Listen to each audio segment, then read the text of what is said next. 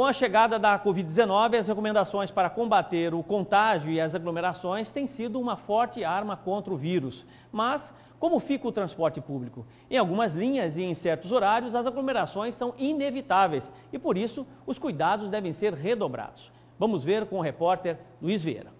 É claro que, em meio à pandemia, o ideal é evitar o transporte público.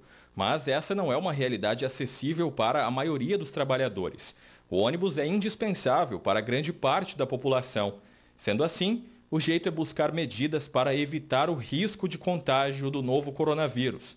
E para isso, a Secretaria Municipal de Mobilidade Urbana vem intensificando as ações de fiscalização. É, nos primeiros momentos da fiscalização, nós percebemos muita resistência, principalmente com relação ao uso da máscara. Né? Mas hoje, graças a Deus, graças à conscientização das pessoas, os próprios passageiros que já estão fazendo uso da máscara estão colaborando, é, exigindo dos outros passageiros também, cedendo às vezes para aqueles que não têm neste momento a solidariedade é importante, né? E hoje, graças a Deus, a gente percebeu uma adesão muito maior, em que pese a fiscalização de estar presente aí, principalmente no período matutino, nos momentos de maiores picos, é, seja presencialmente com a gente dentro dos veículos ou através de equipes volantes, né? E é, Cuiabá tem se saído graças a Deus, é, muito bem no quesito é, é, é, proliferação dessa doença. Além da exigência do uso de máscaras e da higienização, outras medidas vêm sendo adotadas para redobrar a segurança dos profissionais e passageiros. Horário diferenciado do comércio, é, abertura das estações apenas para o embarque, o desembarque é feito fora das estações, higienização é, os, os, motoristas estão disponíveis com os motoristas, álcool 70%, enfim. É tudo que é necessário para que a gente possa minimizar os impactos. Segundo o diretor de transportes da CEMOB, há um cuidado com a frota que está em atividade.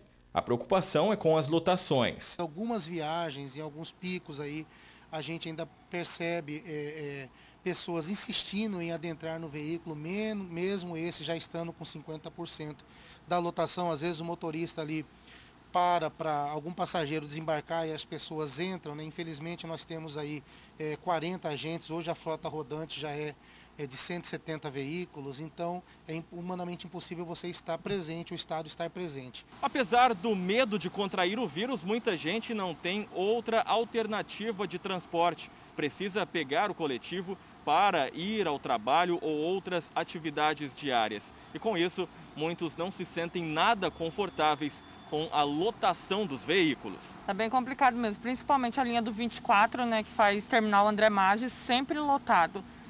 Qualquer horário que você entra, super lotação.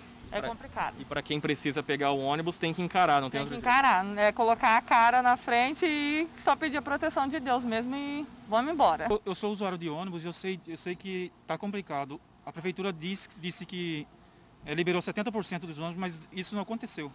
Não aconteceu. Hoje eu, eu vim da CPA, os ônibus veio lotado, lotado. O lado positivo é que os passageiros estão atentos aos cuidados a serem tomados. Primeiramente usar máscara, higienizar, higienizar as mãos, né?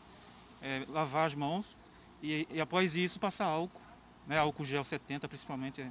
Quem perceber qualquer irregularidade pode denunciar. O passageiro que desobedecer às recomendações pode ser penalizado, retirado das estações e impedido de embarcar. O uso da máscara é lei hoje. Então, nesse sentido, é, você pode acionar um agente de trânsito, um agente de trânsito e transporte ou qualquer autoridade, no caso, é, até a polícia militar, né, caso é, a pessoa se recuse a, a sair do, do, do local de, de, de aglomeração.